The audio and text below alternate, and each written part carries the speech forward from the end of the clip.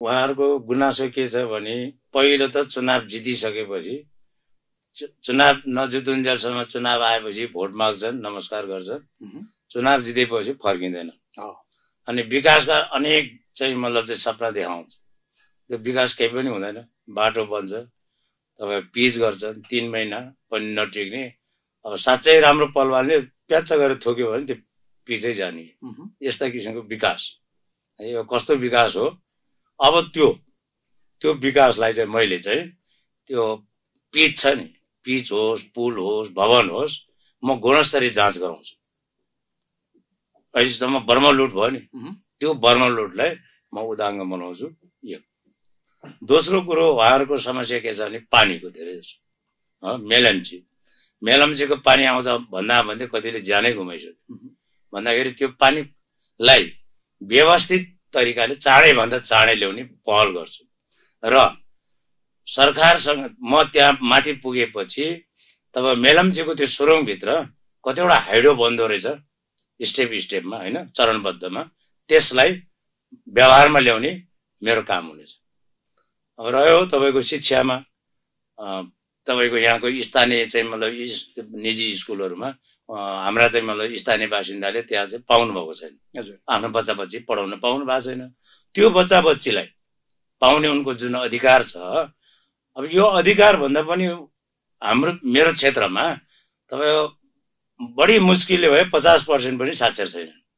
अँ, गरिबीको रेखा मुनि पनि त्यत्तिकै छ। अब यी चिजहरूलाई ध्यानमा राखेर एउटा काम गर्नुपर्ने छ।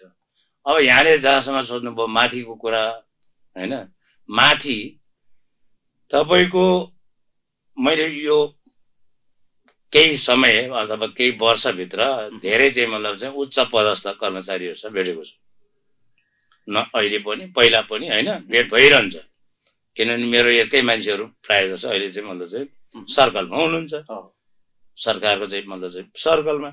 भन्दाखेरि उहाँले के भन्नुहुन्छ भने माथिको आदेश आउँछ। हामी कुनै पनि चेनै मिलाउन सक्दैन।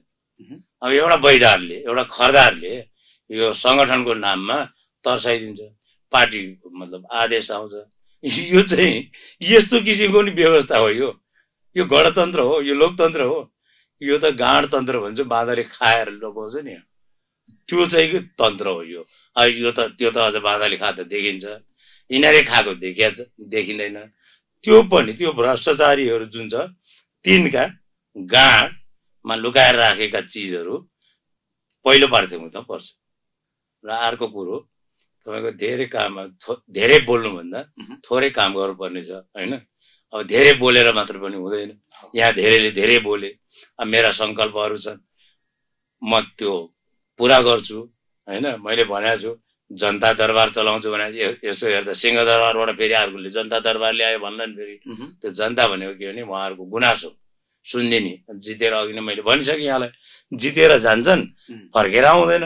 भेट्न गयो पन्ध्र दिन बिस दिन सु अब घर बाहिर कुर्दाखेरि बिहानै सबेरै जाँदाखेरि पनि पहिला त शुक्लामा त्यसपछि उहाँ स्नानमा त्यसपछि उहाँहरू पूजामा त्यसपछि उहाँहरू भुजामा त्यसपछि उहाँहरू बाहिर सवार जनताको कुरा सुन्ने ठाउँै छैन। समय पनि मिल्दैन। मिल्दैन। भनेपछि भित्र ढोकाबाट बाहिरी ढोकाबाट चाहिँ उहाँको यो चाहिँ मतलब चाहिँ दैनिकी हुन्छ। बाहिरी ढोकाबाट उहाँहरू भाग्नुहुन्छ। भित्री ढोकाबाट चाहिँ भाग्नुहुन्छ। बाहिरी ढोकामा चाहिँ उहाँ पूजामा भुजामा सवार भयो भनिन्छ। तर उहाँहरू भित्री ढोकाबाट चाहिँ बाहिर जानुहुन्छ। जनताले भेट्ने ठाउँ चाहिँ छैन उहाँहरूसँग। अनि झोले अब टुरिस्ट भनौँ न टुरिस्ट जस्ता चाहिँ मतलब चाहिँ धेरै जसो चाहिँ उम्मेदवारहरू परे। अब त्यो टुरिस्टलाई अब चाहिँ हामीले भेट्न सक्छौँ। त्यो त एक रात कहाँ जान्छ एक रात कहाँ जान्छ? अब हाम्रो समस्या भने त हामीसँग जनप्रतिनिधिसँग जोडिएको हुन्छ जनताको चाहिँ समस्या भने। अब त्यो कुरालाई मध्यनजर गरेर जनता दरबार भने उहाँहरूको गुनासो। प्रत्येक दिन बिहान छ बजेदेखि बिहान नौ बजीसम्म। यो एउटा त्यो गर्ने। नि तपाईँको यहाँ यो कमजोरी छ है। भनेर सम्झाउन सक्नु पर्यो अथवा यसरी विकास गर्नुहोस् है। लोकल ठाउँमा यो किसिमको समस्या छ भनेर देखाउन सक्नु पर्यो। त्यो क्षमता मसँग छ र अर्को कुरो म माथि सांसद भएर जान्छु गइसकेपछि पनि धेरै सांसद मेरो मेरो लेभलका हुन्छन् या मभन्दा तलका हुन्छन्। यसको मतलब मैले भन्नु खोजेँ के भने उमेरको हिसाब उमेरको हिसाबमा र मैले चिनेका मलाई आदर गर्ने मान्छेहरू हुन्छन्। तिम्रो यो गल्ती छ। त्यो भन्न सक्ने क्षमता मसँग छ अर्को कुरो पुलिस प्रशासनलाई तपाईँको म बोलाएर अथवा एकचोटि आग्रह गर्छु। चाहे त्यो अखितियार होस् चाहे त्यो लोकसेवा होस् कुनै पनि संवैधानिक अङ्गका प्रमुखहरूलाई एकचोटि सम्झाउँछु। यो काम गर्नुहोस्। यदि उहाँले मान्नु भएन भने जनता दरबारमा हाजिर गराउने क्षमता छ। सांसदभित्र पनि मयौँ भन्ने नेतालाई धुलो चटाउने क्षमता छ उम्, जति एउटा सयवटा भए पनि अथवा एउटै पार्टी यिनीहरू बनेर आए पनि म चुनाव लड्छु भनेर हिँड्ने मान्छे।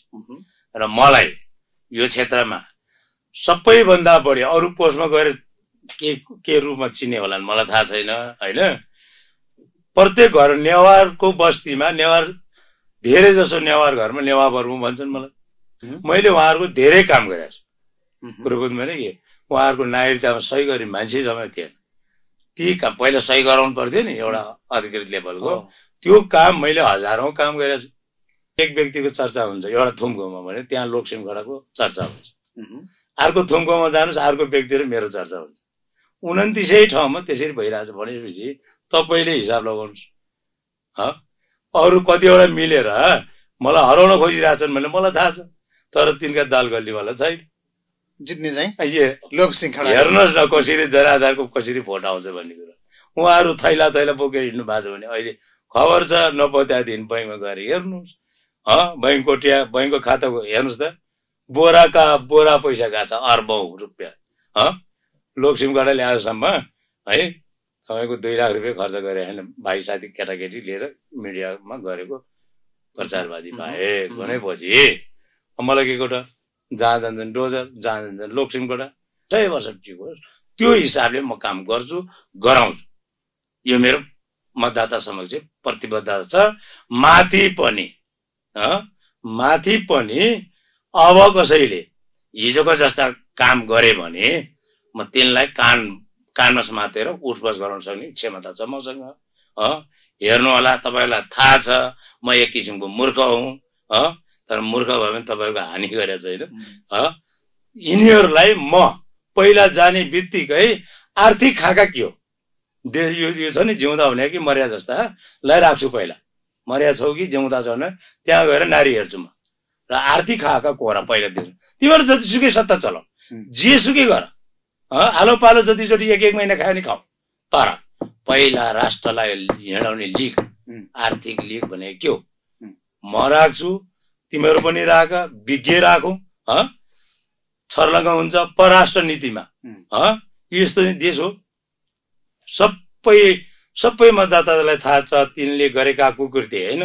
अब म मतदाताले तिनलाई थुक्दा पनि त्यो थुकको अपमान हुने भएछ। तपाईँ गएर पर्दाफास गर्नुहुन्छ। पर्दाफास मात्रै होइन कारवाहीमा पनि ल्याउँछु म।